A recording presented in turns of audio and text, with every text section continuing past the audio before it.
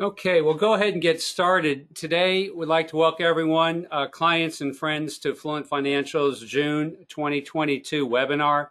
Obviously, we're going to be talking about what's been going on in the markets. Uh, it's been a, a horrible year to say the least. There has been a safe place to put money. Uh, stock market's been down, so has the bond market. But we're going to talk about what what's causing this, what may happen, what we're waiting for, and more importantly, what we're doing to protect your money. And joining me on the call today will will be uh, Mike Lanise. So we'll go ahead and get started. Um, we decided to have Mike do his weekly market update. We probably need to change this to say monthly. Uh, well, Mike will give an update uh, once a month about what's going on. Um, some people have wanted the weekly, but it seems most people would prefer to look at it monthly. So with no further ado, I'm going to turn this over to Mike and kind of give an uh, overview of what we're going to be talking about today. Thanks, Mitch. Hi, everyone. Um, if you guys could please hit mute on your microphone for us. Um, I'm getting a little bit of background feedback, um, so that'd be appreciated if you could do that. So, okay, uh, for those of you that have been on these before with us, we like to show what the markets are doing. And this shows through yesterday and then if you include today, markets are down, S&P was down over 3% today. So these numbers all took an additional hit today after that little bounce that you see um, when rates were raised yesterday. So um, what we're going to talk about today, as Mitch just alluded to, um, U.S. equities are, are feeling the pressure of the highest inflation since 1981. So we have the June 10th, which was Friday this last week, where the CPI numbers um, were stronger than um, stronger than thought. We thought peak inflation had been turning over, and it turns out they went back up again. This is again the consumer pricing index. Um, so that's kind of spooked the market, and it also somewhat spooked the Fed with the PPI numbers out, which are the producer inflation numbers on Monday. And so um, they ended up raising interest rates yesterday 75 basis points, which is three quarters of a percent.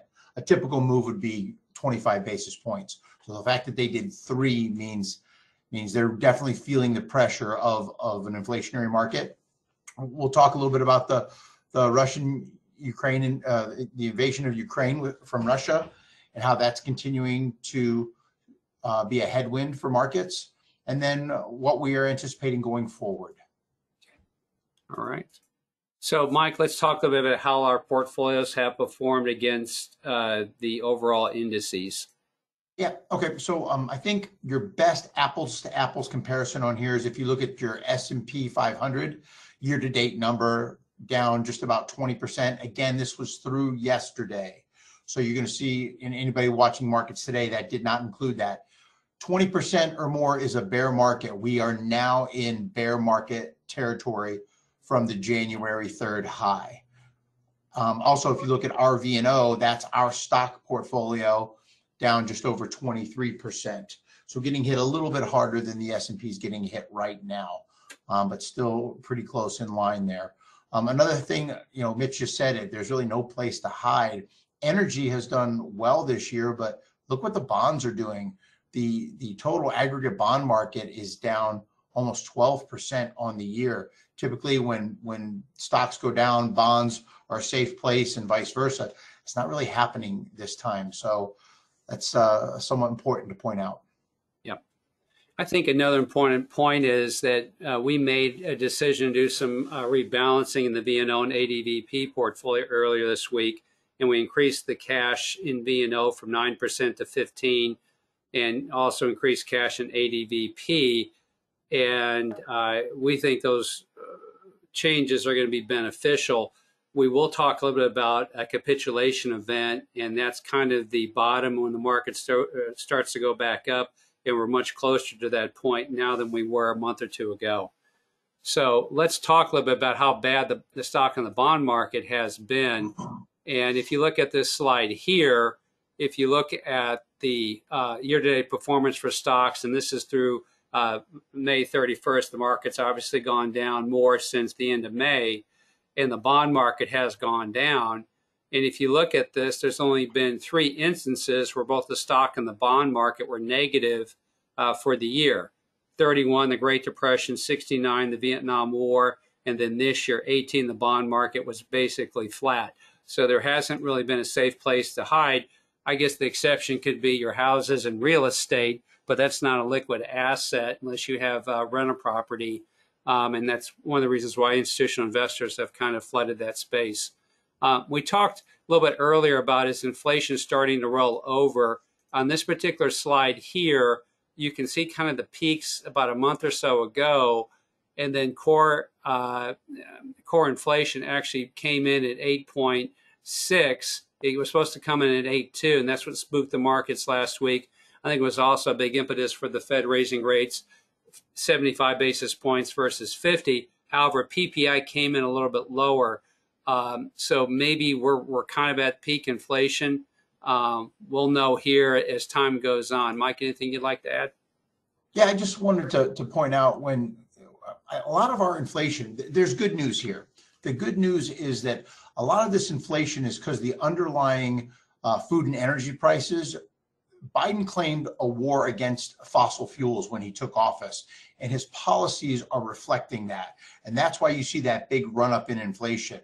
Then you see Russia invade Ukraine, and that exacerbated the situation.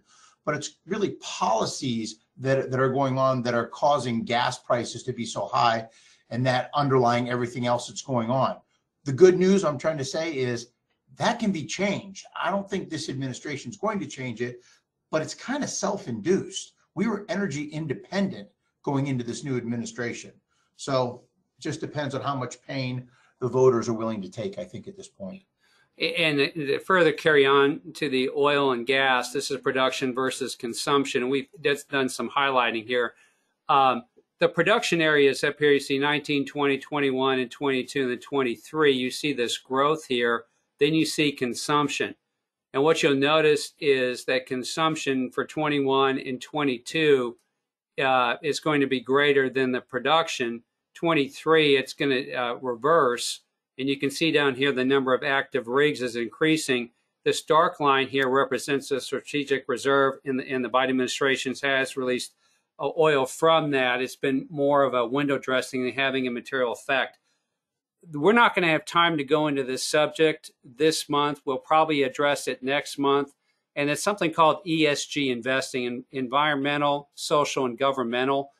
And there was a very good documentary uh, Tucker Carlson interviewed uh, Marlo Oaks, who is the uh, state treasurer for Utah. I recommend those of you who have uh, Fox Nation to watch it.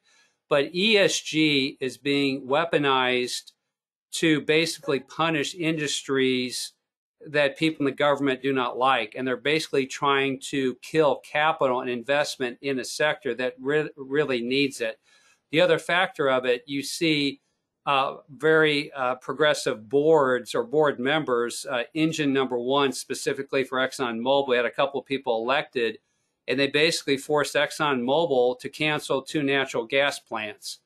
But the problem with this is it's basically the Green New Deal. They couldn't get through the front door is getting ramrodded through the back door through ESG investing criteria. And another part of it is S&P has credit ratings on determines your bond prices, how much it costs to borrow what now S&P's come out with is an ESG rating. And ESG is very subjective. It can be anything they want it to be. But if you have a poor ESG rating, your borrowing costs go up significantly. And, and the other area you see this in is a lot of your big pension funds are forbidding the investment in the fossil fuel industry. So, like the CalPERS in California, the New York, uh, Illinois, primarily blue state pension funds, they prohibit investing in the fossil fuel sector.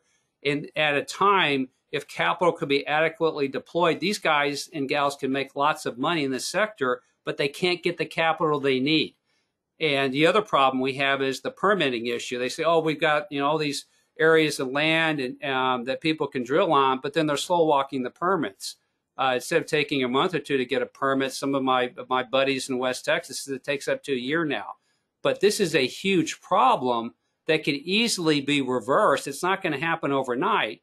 But I, I just don't think uh, the current administration has the stomach to make the changes we need. But what this means for all of us on this call, this 115, 120 dollar barrel oil is going to be with us for some time. And we have a slide we'll talk about here in the future about things that could change and make things better. But so much of our economy revolves around the price of fossil fuel. It's going to be hard to get inflation under control when these uh, energy prices remain elevated when they should be probably 20 or 30 percent lower. So, Yeah. Mitch, I'm looking at the 2023 US production rate at 21.5 versus in 2019, it was 19.5. Yeah. Well, w- did we have an epiphany? We, we- we decided to throw a bunch of refineries online and start producing more between 2019 and now? I, I don't think so. So I'm not quite sure where that number's coming from. And I feel like it's wishful thinking. Yeah, and again, that that's speculative. And I know the CEO for Chevron came out recently and said he doesn't anticipate that a refinery ever be built again in this country, and we'll talk about that uh, here next. And talking about refineries, we've not built one of any size over $100,000 barrel per day capacity since you know 1976 or 77, 200,000. And a lot of the refineries are, are being uh, reconditioned to you know produce biofuel and more ethanol and and it becomes a challenge and then if you think it's difficult to get a permit to drill an oil well what do you think the likelihood is that the EPA is going to grant a license to build a multi-billion dollar refinery. Highly unlikely. And then the other issue you have is who wants a refinery in their backyard? You've got the NIMBY not in my backyard scenario. So this is, is creating a, a potential bottleneck in the Green New Deal. People have got to be ecstatic. But all of us consumers are paying the price for this wishful thinking. Everyone wants cleaner air, water. Uh, we want to get there, but we can't get there overnight. There has to be a transitionary period. So if we get rid of fossil fuels, we don't have enough wind or solar to replace fossil fuels, and no one wants to have the discussion about how do we transition to that. And it's very, very frustrating. And those of you out in West Texas know a lot more about this than, than we do but it's very, very frustrating and it's going to keep prices, unfortunately, elevated. So if you look at the capa- uh, capacity utilization of the refineries, uh, the blue line is going to be weekly, it's jumpy, and the five year average is the orange, and the 10 year average is the gray. These numbers should be much higher, but they're much lower. And we can't produce as much oil and, or diesel fuel dis- distillates and gasoline to keep up with demand, thus prices are, are much higher. And this next slide here kind of shows kind of the same information, but what's really dis, uh, dis, uh, uh, disconcerting, you see this blue line here, it's actually trending down. That's going to pull down the five and 10 year average when we need to be producing more. Um, but again, this administration has gone on the record and they do not want fossil fuels to be around you know, this ESG issue came to a front for this uh, for Marlo when he reached out to his counterpart at West Virginia, and the West Virginia state treasurer said the banks have cut off financing for their coal and oil production. So the bank said, ah, "We can't lend to the state of West Virginia anymore uh, because of ESG rules."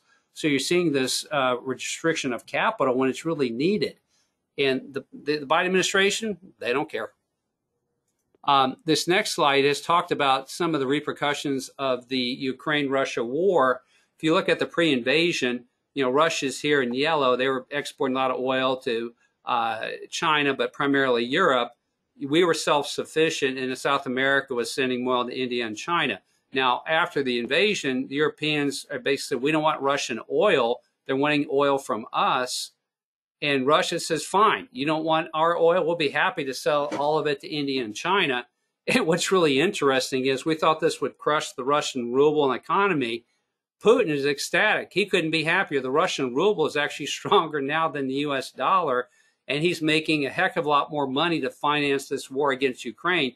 So it's, you know, the people thought the sanctions would punish Russia. It's done just the opposite. So this this conflict's going to be going on. And now we are now wanting to get oil from Venezuela to help make up for the shortfall because we can't drill as much as we'd like to here or drill in areas that are more productive. So And this Mitch? is, yes, I, I wanted to add a comment to this that we, we kind of passed over on one of our other slides. um, yesterday morning, I saw um, a, a, a headline: OPEC underproduced its combined output agreement quotas in May by one by over 1 million barrels per day, which is the widest gap ever seen. So for some reason, high oil prices right now, the Saudis are not producing more. And Joe Biden's about to go over there and take a trip when he called them a pariah for killing that that journalist a couple of years ago on the campaign trail. He is now going to go beg Saudi Arabia and Venezuela for oil when we can produce it here for cheaper and cleaner. Yeah, he'll, he'll probably make a stop in Venezuela, see if he can get more oil from them. So another, you know, dictator country. So it, it just it just doesn't make sense when we could do this here. It benefits everyone, but it just doesn't fit the narrative. Um, Mike, let's talk a little bit about capitulation uh, on this slide, and then the next one we have our chart we used from last month. Yeah, there's a couple things that we look at, everyone, when, when it comes to capitulation, and this graph is just one representation of it. So your black lines, the bar graph lines there, are showing you the percentage of S&P 500 companies that are above their 200-day moving average. And as that drops lower and lower, it means the breadth of the market as a whole is getting sold off. Right now, only 15% of S&P 500 companies are above their 200-day average, and you can see how that's been falling over the last few months. So we're not quite there yet, but that signal below 10, 10% means it's 90% of companies on the S&P are below their 200-day moving average. That's one of the capitulation signals that we say, hey, maybe we should look at getting back in now. Yes, and, and we've talked to many of you on, on, the call about, and I literally just got off the phone with a client that wanted to send money in today, and I said, no, we're going to add you to the capitulation list. So this is a chart we used from our last month, and I said, let's just update it so people can see where the market was. And again, this is the third week of May, and the market kind of rallied the last week of May. The VIX index, which is the volatility index, its long-term average, to put this in context, is 20 right now it's at 32 and mike i don't know if you've got a print on it now if you can look at it and if you can just speak up. If the s&p volume this is the etf that we hold in, in many of our portfolios and if you have a volume of over 250 million shares traded that indicates a big massive dump and sell off you can see there's been a big increase mike talked about the previous slide we've gone from 31% to 16 so it's moved much slower the dumb money stock market participation below 20%. So these are the institutional investors who just say, I can't handle this anymore. Um, I, you know, I just want out. Um, when that gets below 20, that is one of the last signals. Now, not all four of these indicate a capitulation has taken place, and there's other factors, but we look at these four, and what we're trying to share with you on this slide is we're much closer to the bottom now than we were a month or two ago. Please be patient. We have a plan in place. We will recover from this. And the best days of the stock market are right after the capitulation event. So if you sell now or go to cash or make significant changes, you get killed once. When the capitulation event occurs and you're in cash, you get killed twice. And there's no way we can time the market. And this is the best way we can. So just stay fully invested. If you need extra cash, you know, let us know. But I think we're much closer to this capitulation event. Anything you want to add to that, Mike? Yeah, um, VIX is at uh, close just below 33 today. Okay. And I, we have a chart later on. It jumped up to 80 um, back during that uh, Feb March dip, market dip in 2020. Yeah. So and that's actually um, this next slide here, which is a great segue. So this is the, the VIX index. That's kind of the Christmas colors, red and green. It popped a high of 85 in March of 2020 when COVID hit initially. The purple line represents the S&P 500. We bought these VIX calls as a way to minimize downside participation, their downside hedge. Historically, we've used put options, but they're four to five, four to five times as expensive.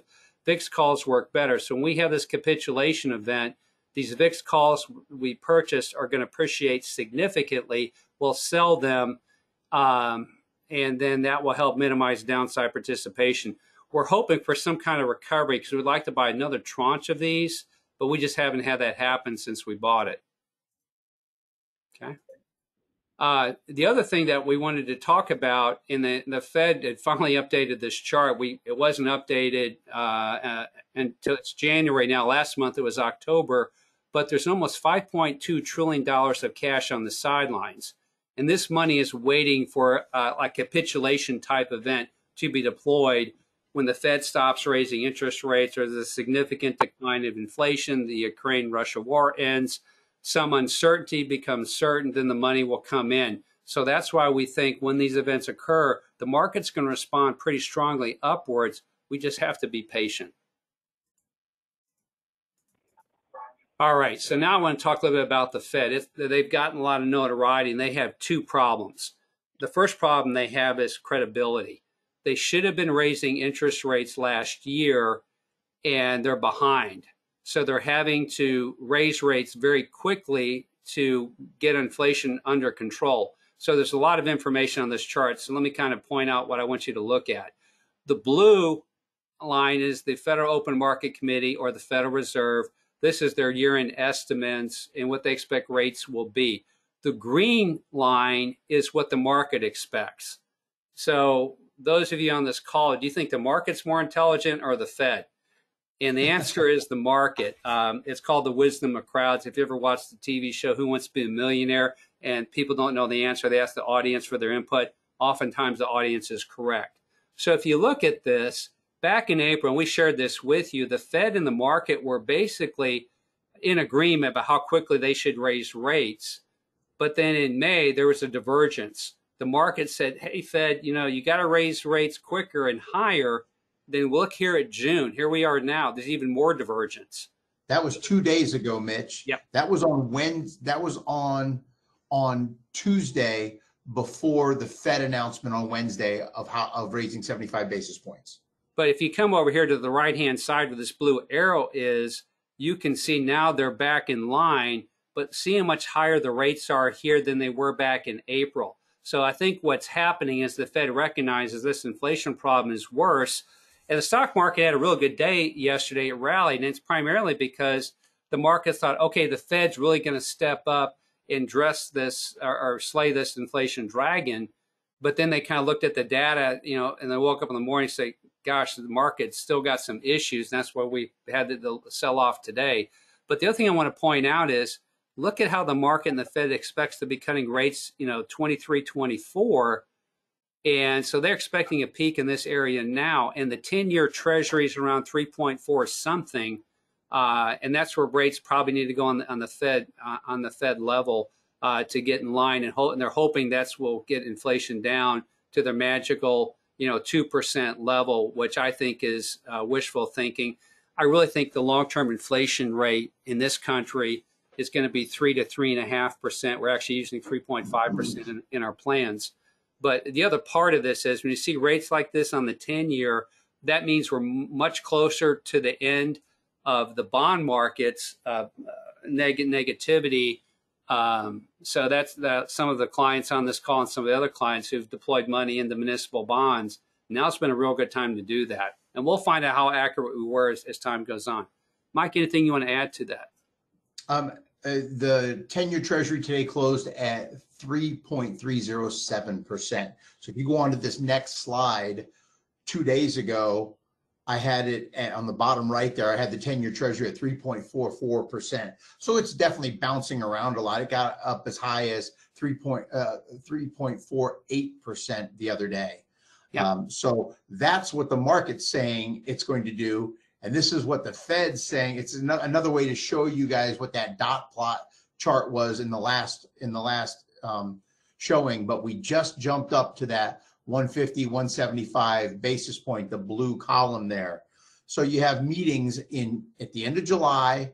Each each line going across is another one of their meeting dates. So the top one is July 27th. The next one is September 21st, and then it takes you to November. And it shows you the odds of each each each column is 25 basis points or a quarter of a percent. So what it means when they're skipping and they're jumping 50 plus basis points each time, it means they're trying to be more aggressive and and try to catch up with that inflation. So right now there's the the the markets are showing a hundred percent chance of a 50 basis point rate hike six weeks from now, and 12 weeks from now, another 50 basis point rate hike. So that's going to put us up uh, above two and a half percent. But again, still behind what the 10 year treasury is saying it should be right now at three and a quarter to three and a half percent. Yeah, and, and people say, well, that's interesting, Mitch. I'm like, what does this mean to me?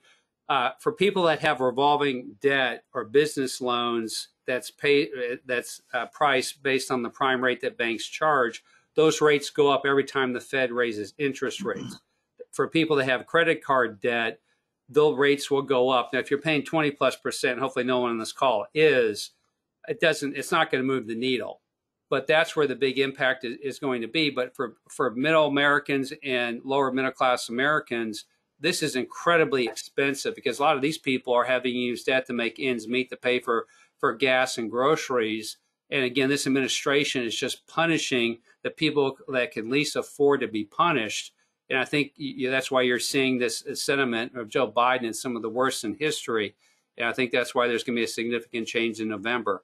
Um, I, I, hope he, yes. What about floating floating mortgage rates, floating yeah. loan mortgage yeah, rates? Absolutely. And we'll have a slide here. We'll we'll talk about about how much mortgage rates ha have gone up. So you know, I talked about consumer sentiment. It hit a record low. This just came out in the last day or two, 50.2 the lowest it's ever been since 71 when this chart was taken. But what I want to focus on is not just how bad people feel, but what happens 12 months later. And then if you look at the 12 month returns on the S&P, you can see the returns have always been double digit. And normally uh, the worse it is, the better the returns have been. So that's again why we're saying this is not going to be going on where this isn't 2000 through 2002 or 08 or 09 it's going to be uh, sharp, and it's but it's going to be shallow in terms of the recession. So just be patient. Um, so what can move the markets higher? So this is uh, some of these are, are going to be very difficult. One is if Russia decides to end the, the war in Ukraine and then the sanctions get lift, lifted, you know, Russian oil gets put back in Europe, it, you add a bunch of supply to the marketplace. Now, for Putin and the war in Russia, he has to have a defined victory because if he doesn't have a defined victory in his mind, he's assassinated. So that's probably not likely. Biden decides to reverse course and not follow the Green New Deal Bible and goes back to the Trump era policies on fossil fuels or tells the ESG crowd to knock it off and leave fossil fuels alone. That's not going to happen. The only item on the three bullet points here is the supply chain unwinds itself quicker than we anticipate. All these dots here represent the container ships off the coast of China. Last month, they were much. Uh, it was much harder to to see them. Now you see some water between them. And China's zero COVID policy has really impacted their ability to ship goods. But this this area will end, and we actually see inventory builds in some retailers. We talked about Target and Walmart. Um, I think a real critical number that's going to come out here in the next week or so is Amazon's numbers because Amazon is kind of a proxy for the retail customer. If that number is way off, I think you're probably going to see the market go down because they recognize the consumer has pulled in and will probably end up showing a negative number for second quarter GDP and thus the definition of a recession, two negative quarters back to back. Hey, Mitch. Uh-huh. Um, so my whole purpose with that slide, I just wanted to, to, to tell people I'm okay with a little more cash right now. Uh, Mitch was saying, you know, we normally keep between a two and, and 5% cash position, five being a little bit heavier. Um, we just went from nine to 15%. And this slide is to say it's not a 50 50 toss up which direction the market goes for us. Yes, it could go up, but I think the path of least resistance is down, which is why I'm okay holding some cash right now. That that's the whole whole purpose of the slide. And above all of this, you still have, let's say it does go up, that gives the Fed even more incentive to put its foot on the neck of the market and keep crushing demand so that inflation can come down. Yeah, thank you, Mike. Um, we expect interest rates to slow the real estate market than they have. Um, 30 year rates, I, I saw a handle of 6.2 earlier. This is fluid. I've seen some as high as seven the important point is at the beginning of the year that was 3%. And for first time home buyers or lower income people, this higher mortgage rate basically will keep them out of the housing market. They're going to have to rent, you know, for a long period of time. It, it's just incredibly frustrating.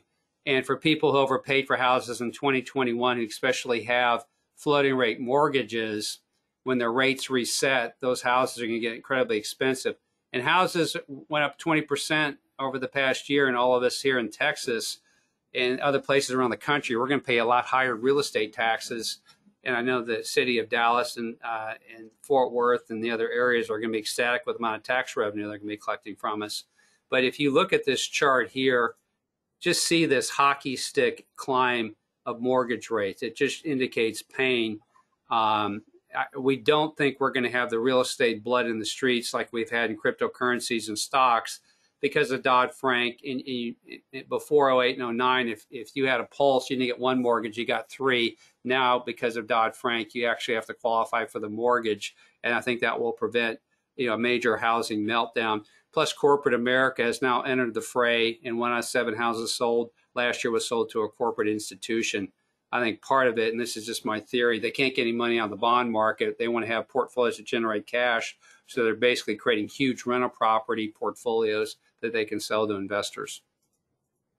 All right. Um, one of the areas, and we won't spend a lot of time on this, this is economic, um, modern monetary theory, MMT. There is a contingent of, of, of economists and, and, people that think MMT is the new magic monetary theory. It basically says you can print as much money as you want. There's no repercussions. Inflation is not going to be that bad. Well, it's a flawed theory. Even uh, Paul Krugman, who's who's won the Nobel Prize, he writes for the New York Times.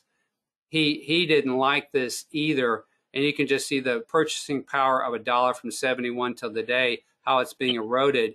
And then you see the gross public debt.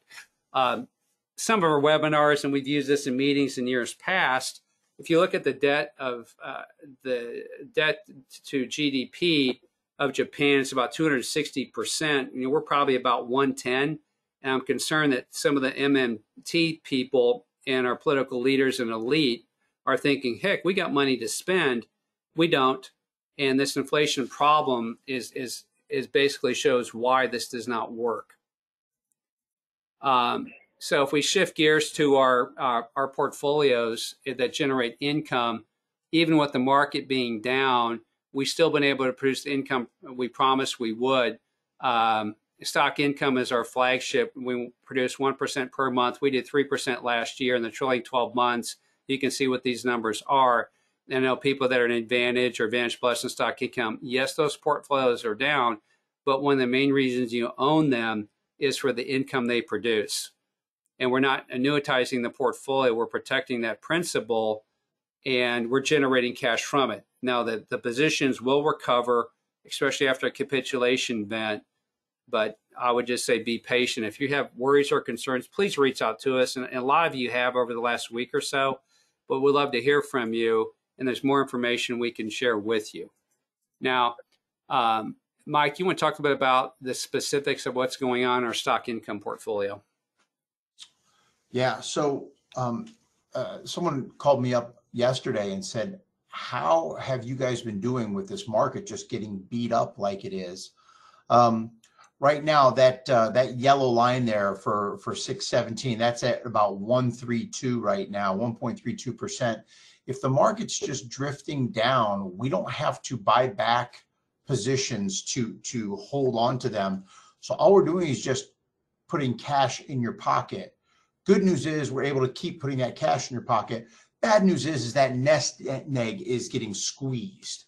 So um, what you're seeing is that that nest egg during the first parts of the year, Feb, March, April, where we were having to buy back some securities to kind of hang on to our cash um, I'm sorry, use some of that cash to hang on to our securities. And then you see May and June hit where the markets have just been falling. You can see that blue line on the chart is our average nest egg size that we're using to generate income.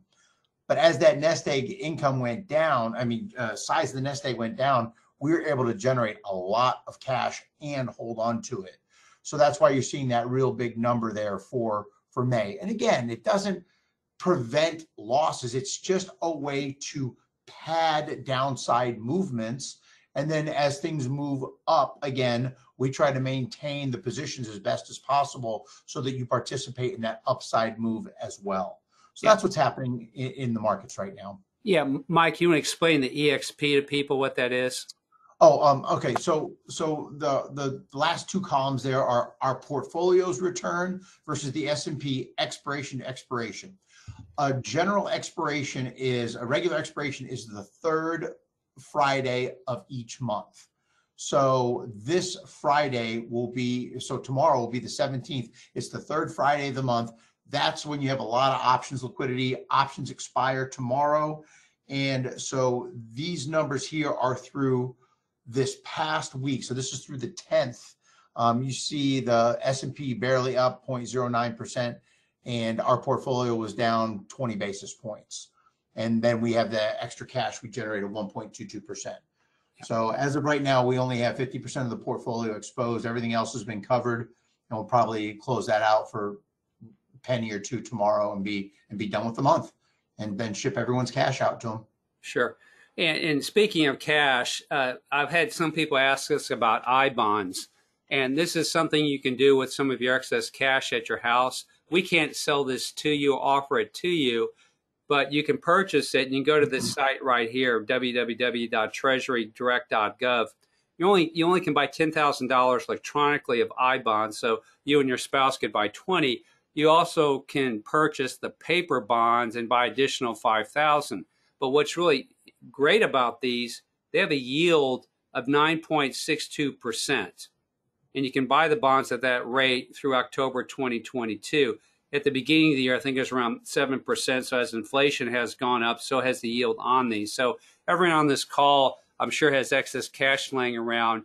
I would recommend buying some of these and look at it as a CD type instrument. Now, you have to hang on to them for at least a year and five years to get all of your interest but it, it's a good way to make some of your cash that you don't want to deploy in the market, earn some money, and they, they're guaranteed not to lose money, assuming our government doesn't go out of business, which if they, that does, we have bigger problems.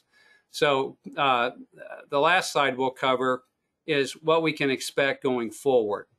And there's more downside risk ahead, and there's no rescue for the markets being anticipated in, the near term. There's no white knight there, there's not the political stomach to make the changes. They're going to die on their sword, literally.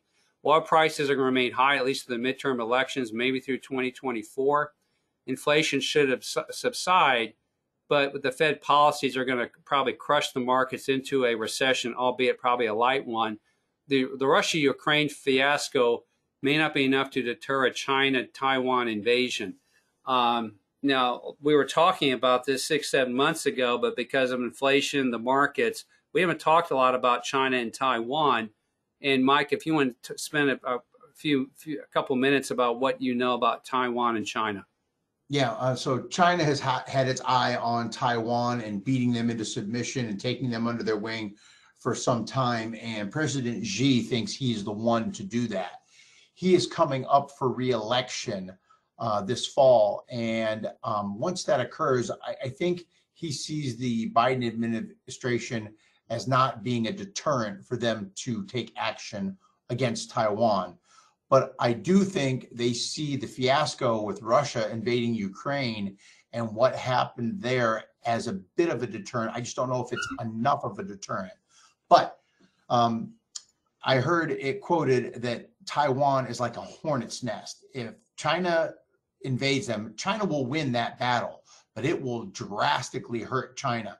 Uh, Taiwan is extremely disciplined. They have uh, they're they're extremely well prepared, and they have decent weapons stockpiled. So they will definitely punch back. And if China does this, I think they may underestimate them. And you think the global supply chain is constrained right now. If China is in an extended battle with Taiwan, and then everyone's throwing sanctions onto China, um, it could definitely throw the market into into a whirlwind to the downside. Yeah, and, and the other part of this is the Economist, which I read, which is a, a, a left-leaning uh, publication. They're against China doing that as well, and I think that China PR hit would probably be so great that they may, if they take Taiwan back, they may lose the war. But the China economy is in worse shape than ours is right now, and I don't know if they can economically afford this kind of prolonged battle with Taiwan. So I'm more in the camp that's probably less likely to happen now than it would have been six months or a year ago. We'll see what happens, but um, I, I, don't think it's it's going to happen because I don't think China's in a real strong position right now. So uh, that completes our webinar. We'll go to uh, Q&A and we'll go ahead and oh, I'll turn off the recording. And if you guys want to ask questions, you can. If you want to type one in, uh, go ahead.